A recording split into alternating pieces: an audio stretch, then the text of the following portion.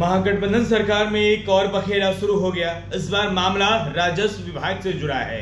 दोस्तों, दरअसल 30 जून 2023 को राजस्व एवं भूमि सुधार विभाग के मंत्री आलोक मेहता की ओर से 480 अधिकारियों की ट्रांसफ़र पोस्टिंग की लिस्ट जारी करती की जाती है और पोस्टिंग, ट्रांसफ़र पोस्टिंग कर जाती है। सीएम नीतीश कुमार के आदेश के बाद इस एक झटके में रद्द कर दिया गया है।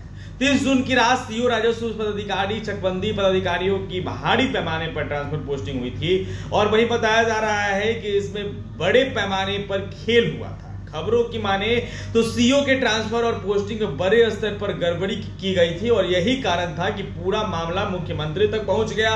मुख्यमंत्री नीतीश कुमार हड़कत में आ गए मामले की समीक्षा की। इसके बाद विभाग को ट्रांसफ़र पोस्टिंग के आदेश को रद्द करने का निर्देश दिया गया। राजस्व व भूमि सुधार विभाग की तरफ़ से इस संबंध में एक अधिसूचना जारी कर दी गई। जारी अधिसूचना के अनुसार अगर बात की जाए तो दोस्तों बता दें कि बिहार राजस्व सेवा के राजस्व अधिकारियों और समक्ष पद तथा अंचल अधिकारियों सहायक बंदोबस्त पदाधिकारी, चकबंदी पदाधिकारी जो है, तमाम सहायक चकबंदी पदाधिकारियों, पद पर जो पदाधिकारियों के स्थानांतरण पदस्थापन से जो है संबंधित चार अधिसूचना तीस जून को जारी की गई थी और उसे तत्काल प्रभाव से जो है रद्द कर दिया जाता है। बता दें दोस्तों कि राजस्व व भूमि सुधार विभाग के आरजेडी कोटे में है के मंत्री हैं और इस विभाग में, के मंत्री जो है वो आलोक मेहता है डेप्यूटी सीएम तेजस्वी यादव के काफ़ी कर्मी बताए जाते हैं।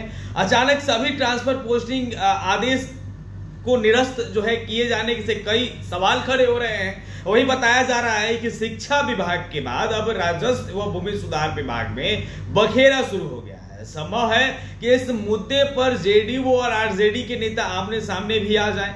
जी हाँ दोस्तों, अब जेडीयू और आरजेडी के जो नेता है, वो आमने सामने भी आ सकते हैं। लगातार नीतीश कुमार, आरजेडी को जो है, आरजेडी कोटे के मंत्री, पिछला बार भी शिक्षा विभाग के तरफ़ से ट्रांसफ़र पोस्टिंग का खेल किया गया था।